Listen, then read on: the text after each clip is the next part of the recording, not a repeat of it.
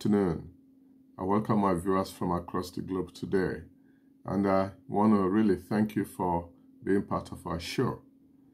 Now, a couple of days ago, the son of uh, Fela Anikulapo Kuti, the Afrobeat legend, his son, Seun Kuti, was uh, uh, seen in a video that is uh, um, circulating on the internet. He was seen assaulting a policeman. And like I said, this video has been circulating on the internet in the last couple of days. And uh, I'm not going to share this uh, video on this platform because I do not want to appear to be promoting uh, violence in any way or form. This channel, this platform, does not promote violence in any shape or form. So if you want to uh, take a look at that video, I would encourage you to uh, go to the internet and um, hopefully you will find it there. However, I am puzzled by the reaction of a number of, uh, of our people. Some have voiced their support for Seun. Even some celebrities have come out to support what Seun did. They think that what he did was right. And I want to say clearly on this channel that I really do not think so. Now, there are many reasons why Nigerians love their, their police force. I'm using the word love in quote and unquote. The police are still stopping people on the streets and on the roads, doing what they are not assigned to do. That's a, a reason to not love them. They are still seen collecting money illegally from members of the public.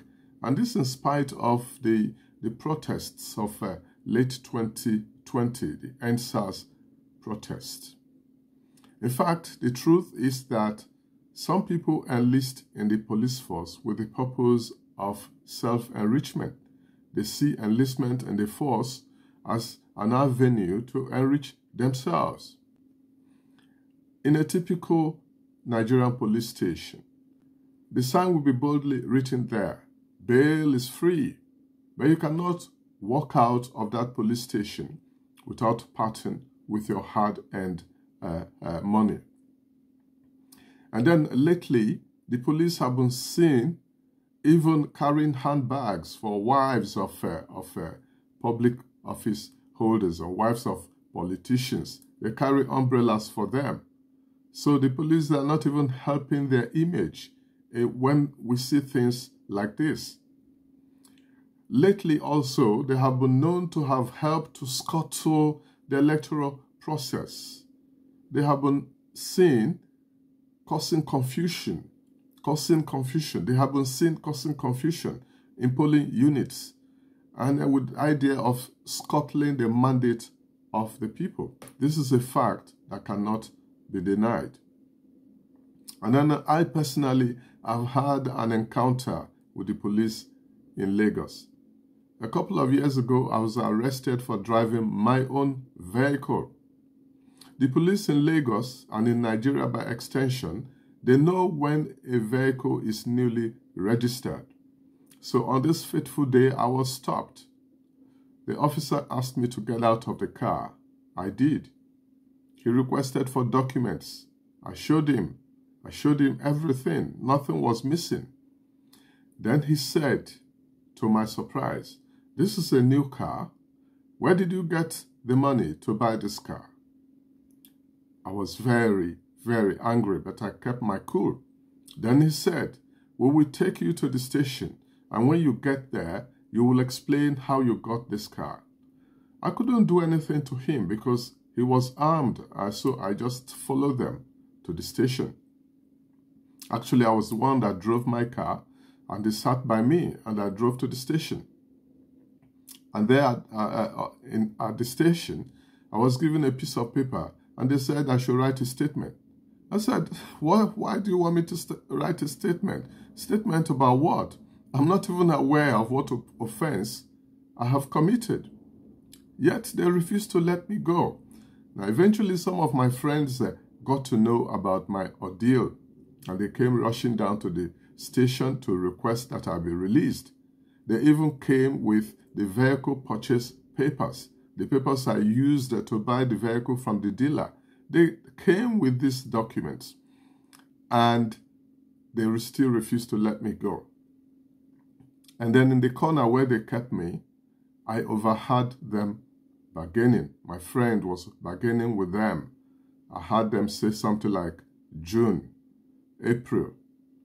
And then my friend said January. Then later he said March. Then after he said March, that was when they now decided to let me go. I was completely ignorant of what was the what was being discussed. I didn't know the meaning of their discussion. So it was later when we were driving out, then I asked my friend, what do you guys mean by March and April and June and December? And he said January means 1,000 naira. February means 2,000 naira. March means 3,000 naira. So you continue to count that. So if you are in December, when the police says December, it means they want 12,000 naira from you. So even the police, they know that they are committing illegality.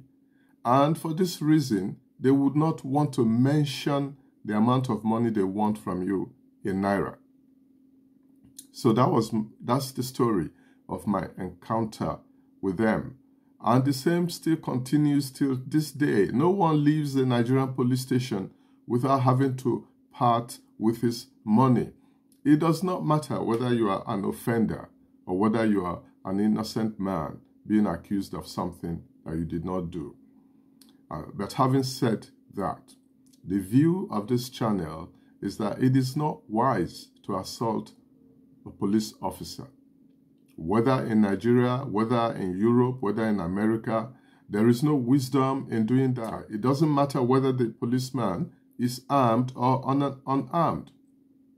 I would certainly not counsel anybody to assault a policeman on the street. So what Seun did is not acceptable at all. The law does not empower the police to assault a member of the public. In the same manner, the law does not permit any member of the public to assault the police. Now, a few weeks ago, I remember there was this video that was circulating online where a police uh, officer was uh, seen assaulting a member of the public somewhere in Port Harcourt.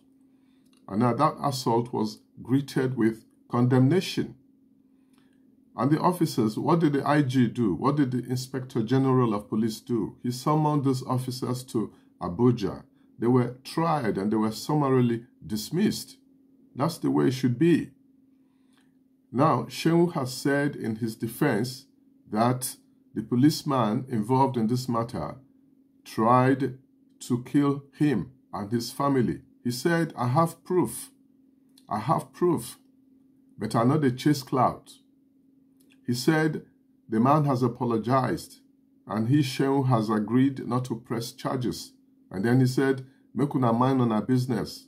May the poor guy not losing job. So, if Seun has evidence, if he has proof as stated, then he should have reported the matter to the appropriate authorities and allow the law to take its course.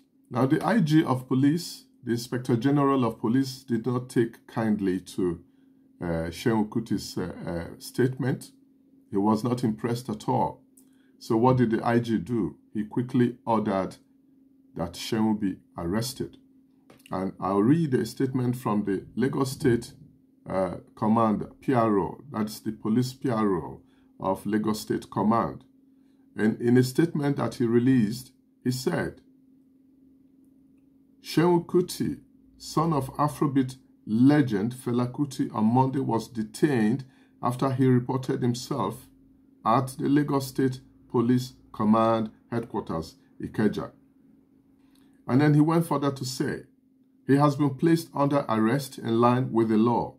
The command appreciates uh, the public for their concern and assures that the ongoing investigation will be detailed, transparent, professionally pursued, and justice will be, uh, uh, will be manifestly served for all parties involved. This statement uh, uh, is uh, credited to the Twitter handle of Ben Hundeyin, the Lagos State uh, uh, PRO, that's the police command PRO. Now, after Seun handed himself in, we've seen him in photos being paraded as if he has already been convicted of an offense. And I would like the police in Nigeria to know that two wrongs cannot make a right. Your PRO simply said that they will handle the matter professionally, and by that, I would I, the the way I interpret that is that this matter will be handled according to the law. So the police ought to display utmost professionalism in dealing with the matter. The law ought to guide their conduct. And Seun's lawyer has since waded into this controversy and the circumstances surrounding his treatment at the police station. I want to read the, from this day publication of 17th May 2023. That is today. That publication or that story is titled Seun Kuti. That story is titled Seun Kuti, Lawyer Fumes, says parade handcuff on singer is illegal. Now I read. Now, lawyer to the embattled popular Nigerian singer Seun Kuti yesterday filmed and described as illegal the handcuffing and parading of the singer after he submitted himself to the office of the Lagos State Police Commissioner to help with ongoing investigations after hours after a video went viral where he was seen assaulting an officer of the Nigerian police force in Lagos. And the lawyer said I accompanied him to Ikeja police station with another lawyer, Femi Akinyemi, from Falana and Falana chambers. However, there was no interrogation as it was decided he would be moved to the first criminal investigation unit at Panti Yaba.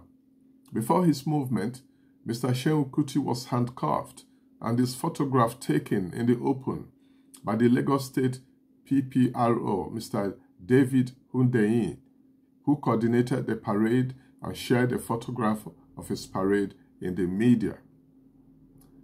The statement continues, Mr. Kuti is presumed innocent until the contrary is proved by the state.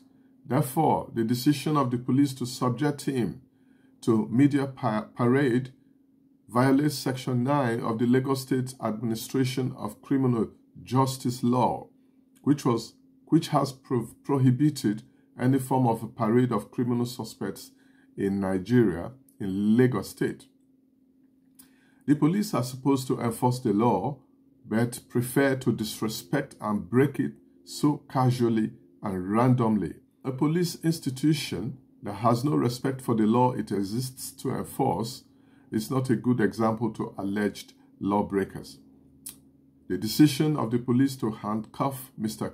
Kuti is equally illegal as it constitutes a violation of Section 5 of the Administration of Criminal Justice Law. So, we conclude by saying that it is likely that Seun will proceed on trial, and we're going to follow the course of events and bring the view of this channel to my viewers and to my subscribers. Now, but what I want to say is this.